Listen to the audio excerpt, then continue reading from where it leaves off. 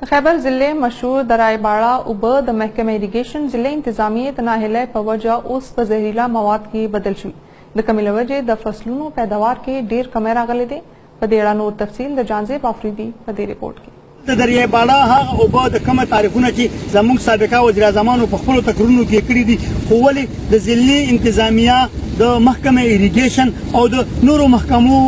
د نهله په وجه باندې دا اوبه اوس په زهرلا موادو کې بدل شوې دي د سابقه دور کې د پولیټیک انتظامیه طرف نه په غیر قانوني طریقه باندې د باړې په بازار کې د آبادې په منس کې چې یو طرف ته د سټیل میل اجازه ورکړې شوې ده نو ورسره ورسره د جیلی سیګریټو د غتی کاغذ او داسې کارخانه هم جوړې کړې شوې دي چې د هغه څومره د کیمیکل ملو ګنده مواد دي هغه د باړې دریاب ته راغورځيږي په دې باري دریاب کې یو د اوبو نه د سره سره دلته کې ښکار له خلک راځي د ټراوټ کب چې کوم ډیر مشهور دی د هغه په شان مقابله والا کب په دې اوبو کې موجود دی د سره سره بس دا خبره هم وکم چې د دریای باړه باندې د پیښور په ضلع کې د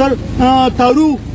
نظامپور او نوخاره پورې هغه علاقې د غي فسنه د دې اوبو مرهونه منت دي خو ولې د زمیدارو وینا ده چې کله نه دا د غتی ملونه او د جیلي سګرټو کومې کارخانې جوړې شوې دي او د دې مواد په دې اوبو کې شامل کړی شوی دي نو د هغې په وجه نه د دې فصلونو ته او دې ځمکو ته ډېر زیات نقصان رسېدلی دی او د دې ځمکې اوس هغه پیداوار نه ورکوي کوم به چې څه وخت مخکې د دې اوبو د وجې نه